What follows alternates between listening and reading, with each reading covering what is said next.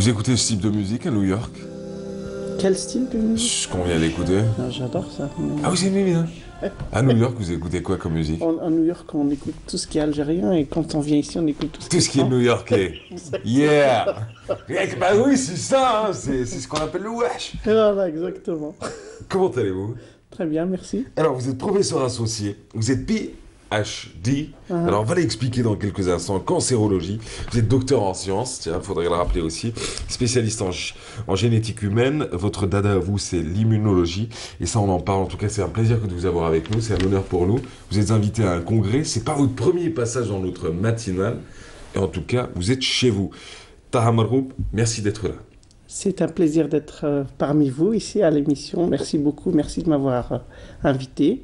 Vous ne, suffi- vous ne subissez pas encore le décalage horaire? Euh, J'étais à Gardaya, donc j'ai eu le temps de m'adapter. Ah, vous avez eu le temps de vous adapter. Vous êtes de Gardaya Je suis de Gardaya, de Benizgen. C'est une belle région.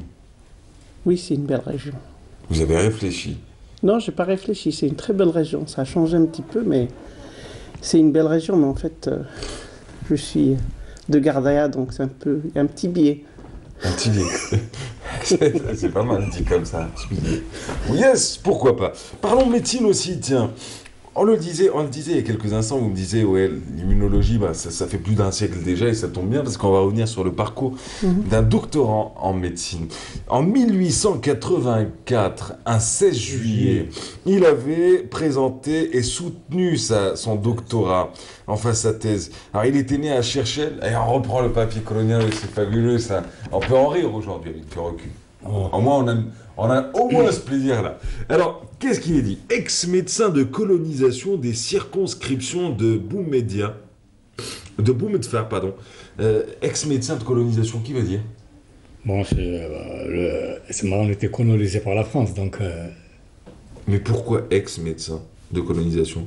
Ah, ça s'est sorti après, par la suite. ça c'est, oui, c'est ah, par la c'est- qui est sorti ce... Alors, il avait travaillé sur El Afron, sur euh, Hamarlein, sur euh, Bourkika et dans d'autres régions. Il est euh, lauréat médaille d'argent de la Société de secours mutuel de la famille d'Alger, etc. Alors, quand on dit médaille d'argent, c'est parce qu'il était algérien à l'époque? À l'époque, il était algérien, c'est normal, donc euh, Donc la médaille d'or ne pouvait lui revenir? Ça, c'est sûr. Alors, vous êtes son, son arrière-petit-fils, Sidali Ben Larbé. Je me suis pas trompé Ben. Arbeil, Ben je Arbeil. précise. euh, Hey, ok, fallait le Il hey, fallait prononcer le Y. Ouais, je vais vous parler un peu en mode... Sur le, le nom. D'accord, Ben Larbey.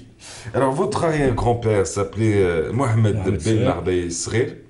Alors, co- comment êtes-vous revenu sur cette fameuse thèse? Quelle importance aujourd'hui pour cette thèse qui a été émise déjà en 1884, il y a plus de 131 ans? Non, tout simplement parce que je crois qu'il mérite un hommage. Étant donné que c'est le premier médecin euh, algérien. Donc je crois qu'aujourd'hui, après 100, 130, euh, je ne sais pas combien vous avez dit, 131. Hein, 131 ans. 131 années. années, Ouais. donc je crois que euh, on doit penser à lui. C'est la moindre des politesses. Hein, et Dites-le au euh, ministère de la Santé, meilleur- ça. Hein? Dites-le au ministère de la Santé, Non, ça. justement, j'arrive. Donc, euh, je pense, hein, moi, à mon avis, il mérite au moins d'être cité dans le. Je sais pas comment on appelle ça. Vous parlez des manuels de médecine ou vous parlez Non, des, dans- des dans- ouvrages de, de- de lui donner, par exemple, euh, de lui attribuer euh, une. euh, Je ne dirais, je dirais pas une, une récompense. Il lui a attribué son nom à un institut Ouais. de médecine, par exemple, ou une université de, de médecine comme celle de qu'on a, qui va être inaugurée, je crois, incessamment au niveau de, de Ben Aknoun. Vous avez émis cette idée-là Bon, j'en parle aujourd'hui puisque j'ai eu l'occasion se présenter, d'être reçu par le canal d'Algérie. Je vais, c'est déjà là ce, ce, ce vœu-là. Ce serait formidable. Le ministère de la, de la Santé a-t-il connaissance de- des travaux de, vo- de votre Oui, arrière-grand-père, de l'existence de votre beaucoup- Il y a beaucoup de, personnes, je peux citer Kamel Bouchama, ancien bah oui. ministre. C'est un ancien ambassadeur, Il écrivain fait- il a- également. Il a fait beaucoup de, de trucs de, de synthèse sur le docteur euh, Al-Arbeil. Ouais. Il y a aussi, euh, j'ai un parent qui travaille chez vous ici à à- au niveau de Canal Algérie. C'est l'ancien, c'est un docteur aussi, Ouais. le docteur euh, Bardouane. Ah bah oui. Ancien ministre de la Santé C'est lui un, c'est un, un parent, c'est un, un parent moi aussi. D'accord. Alors, que vous, vous le dites aujourd'hui, réhabiliter un peu la mémoire de, de, euh, de feu Mohamed Ben Larbey Srir, euh, premier médecin de, euh, durant l'époque coloniale. Premier Ah. médecin algérien, il faut Premier- préciser. oui, ah, oui, vous avez tout à fait raison, mais bon, pour moi, il est naturel de, de parler des Algériens, non pas des Français. Ouais. Je veux dire, je, je- il y a Ouais, l'assimilation bien sûr, à la. France n'a jamais été euh, n'a jamais été envisagée ni envisageable. Euh, Aujourd'hui, alors si on devait parler de son parcours à lui, comment était-il devenu, comment est-il passé dans l'émail du filet quand on sait que la France, en arrivant en 1830 en Algérie, avait décidé tout simplement de brimer les Algériens, de ne pas leur permettre d'accéder à- au savoir, de ne pas leur permettre d'accéder, d'accéder également au pouvoir, à des postes de responsabilité, de pouvoir s'instruire simplement. Ah, Je crois que c'est son parcours qui, qui, qui parle de lui. Ouais. Il a soutenu une thèse euh, le, le 18 juillet 1900 1884 à Paris, et en présence de, je cite son nom, d'un grand, euh, je crois que c'est un, c'est un écrivain, Victor Hugo, qui était pratiquement son ami à l'époque, puisqu'il a, il a, il appelait le cher, euh, cher Victor Hugo. Donc, euh, si il a, il a réussi à gravir tous ces échelons et à soutenir une thèse en 1884, Ouais. c'est que vraiment il, il le mérite et, et c'est son, son- son- son éducation intellectuelle qui lui a permis de, de gravir tous ces, ces- tous ces échelons. hein. Parce que euh, je ne pense pas que le- le- le- le- les Français à l'époque lui auraient fait ce cadeau.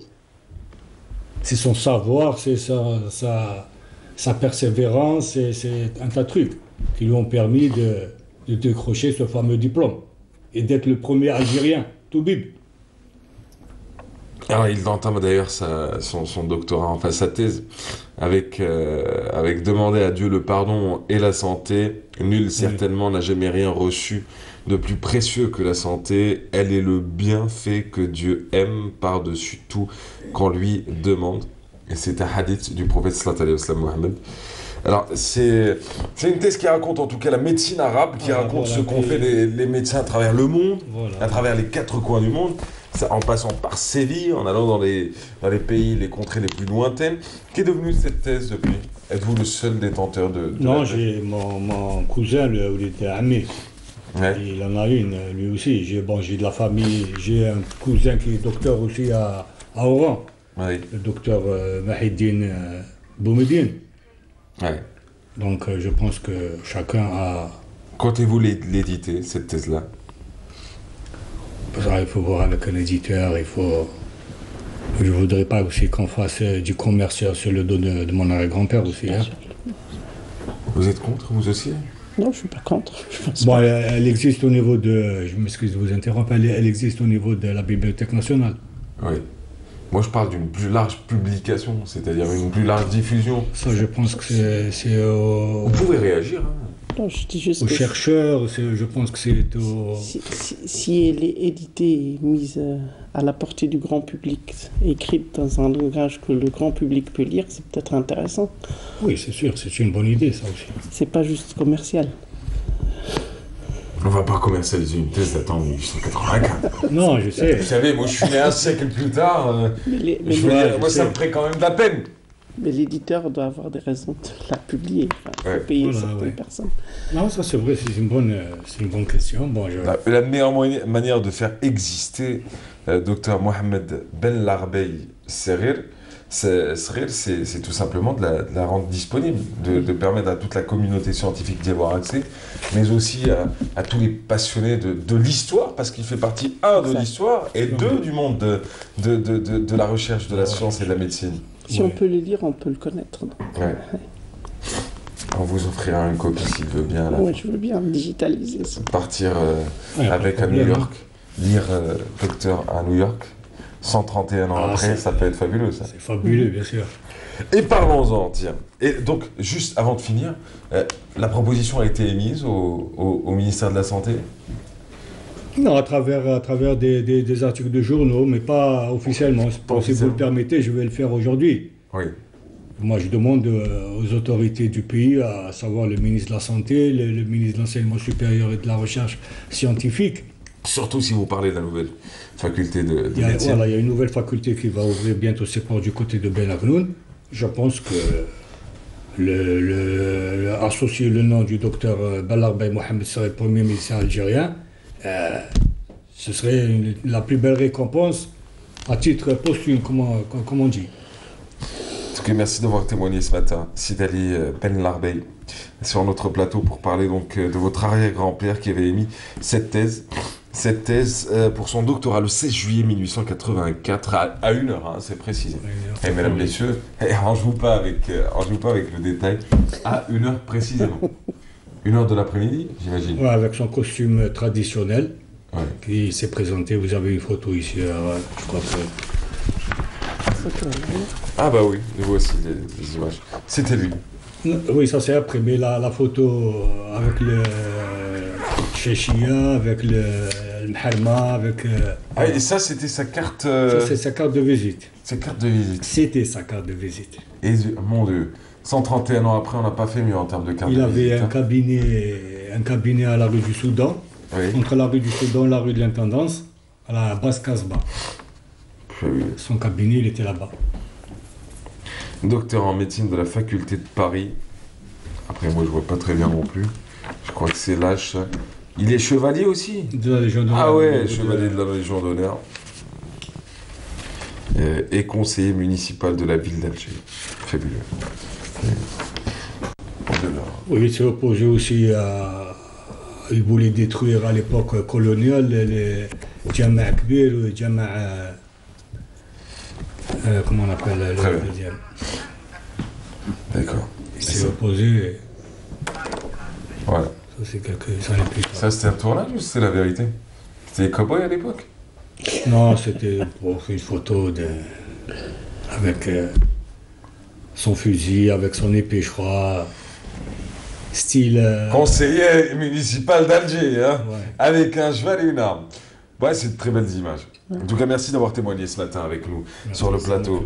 Et, et- et- et on souhaite vraiment que, que l'on puisse un jour peut-être aller à, à la bibliothèque et découvrir cette fameuse salle qui pourrait avoir le nom de, de Dr Mohamed Ben Larbey.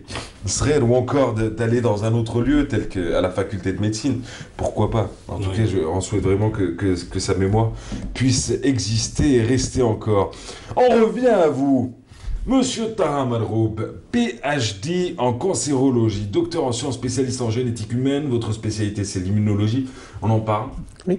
En fait, c'est l'immunologie des tumeurs. Donc, Ouais. euh, ça veut dire que le, système immunitaire est conçu pour euh, combattre des microbes ou des pathogènes extérieurs. hein, et, et pas, les gens, en fait, pendant très longtemps, n'ont pas pensé que le système immunitaire n'avait pas de rôle euh, dans le cancer, mais enfin, dernièrement, en tous les cas, les gens, enfin, ou la communauté, la communauté scientifique a prouvé que le système immunitaire est capable de combattre le cancer. Et donc en fait, notre système immunitaire est toujours en train de surveiller.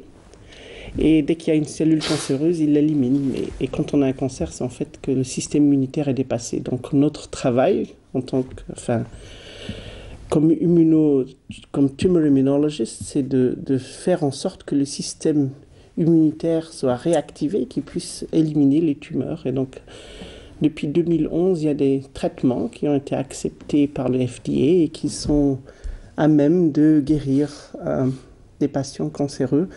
En fait, les, les travaux initiaux ont été, faits, ont été faits sur le mélanome, Oui. mais maintenant c'est appliqué à différents cancers. Et je peux citer par exemple le cancer du poumon où il y a une autre immunothérapie qui a juste été approuvée il n'y a pas très longtemps. Alors vous êtes professeur associé, c'est comme ça qu'on dit. Oui. Vous êtes donc PhD en cancérologie. Vous êtes installé aux États-Unis. Ça fait, ça fait combien d'années tout ça? Je suis allé aux États-Unis en c'est plus récent que Dr Larbeil. Hein. Richard avait bien compris. Sinon, vous seriez bien concerné.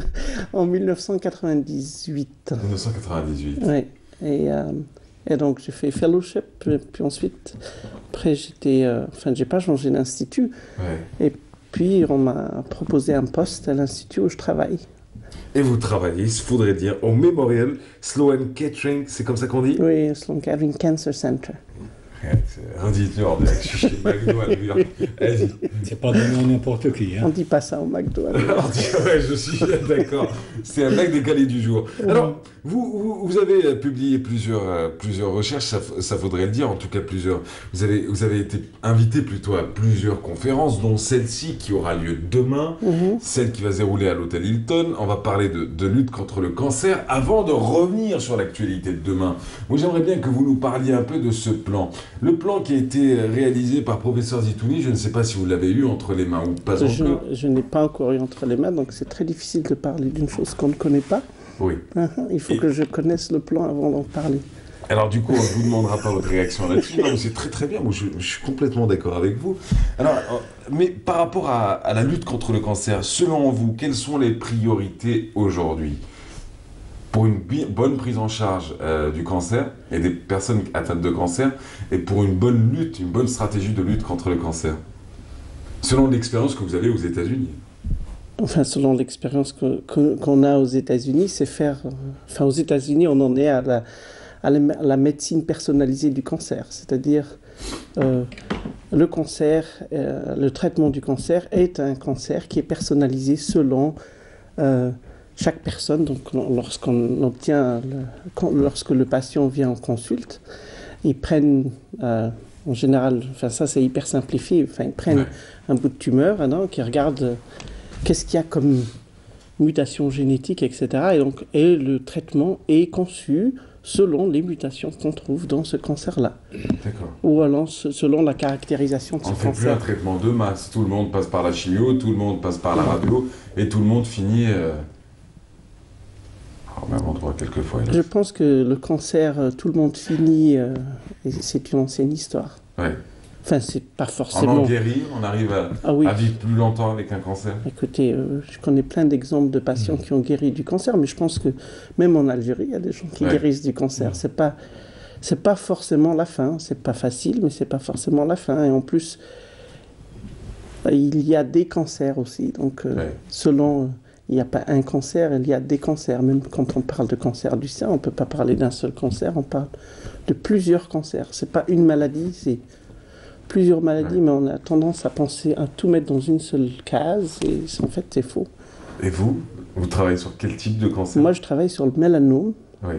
mais en fait, comme je travaille sur l'immunothérapie, l'immunothérapie, euh, c'est universel, Oui. donc ça s'applique à n'importe quel cancer.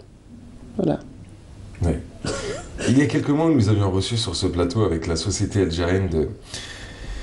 Une société algérienne quelque peu particulière. On appelle ça la SANMO. Alors, c'est Oui. la médecine orthomoléculaire.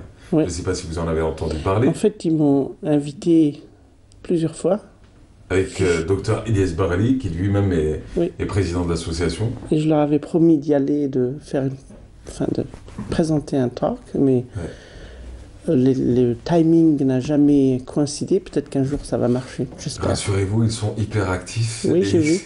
Et, vu. et sûrement qu'ils enchaîneront avec une nouvelle conférence très, proche- très prochainement. On avait reçu un professeur qui avait développé une Mhm. théorie, une technique du Mhm. traitement du cancer à travers des mégadoses de vitamine C. Vous en pensez quoi? Juste une réaction. Nous, je, je- je ne le dis pas pour me moquer, bien au contraire, je ne le dis pas non plus pour, pour encenser sa théorie à lui, mais aujourd'hui il expose des cas qui ont euh, bénéficié de, de sa thérapie à lui et qui seraient aujourd'hui en bonne santé. Bon, après, il est décrié par les labos pharmaceutiques, c'est autre chose. Non, Oui. mais vous, vous en pensez quoi? Il est possible aujourd'hui de traiter le cancer à travers. Si j'avais, si j'étais atteint d'un cancer, disons que je ne choisirais pas cette voie-là Oui. pour me faire traiter, parce qu'en fait, c'est un peut-être comme quelque chose de supplémentaire, je le ferais, mais euh, Ouais. parce que c'est une course contre la montre, Ouais. et euh, j'ai pas envie de perdre de temps. Mais je ne dis pas que ça ne marche pas. hein, je ne- Ouais. Puis je vais pas dire que ça marche non plus. Très bien. C'est la vie d'un scientifique. Ni oui, ni non. C'est pas ni oui ni non, c'est le scientifique euh, utilise les hard facts, comme on dit. Donc il faut qu'il y ait des données bien précises et peut-être que ça nous joue des tours. hein. C'est pour ça que c'est peut-être pour ça que l'immunothérapie a titubé pendant 100 ans. C'est parce qu'il n'y avait pas de très bonnes preuves. C'était des preuves circonstancielles. Ouais. Maintenant, ça a été démontré de façon très claire. Donc on peut dire ça marche. Ouais. Mais si quelque chose, si on n'a pas prouvé que quelque chose marche, ça ne veut pas dire que ça ne marche pas.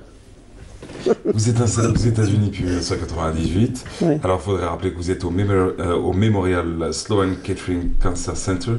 Vous êtes euh, donc euh, PhD en cancérologie à New York, professeur associé.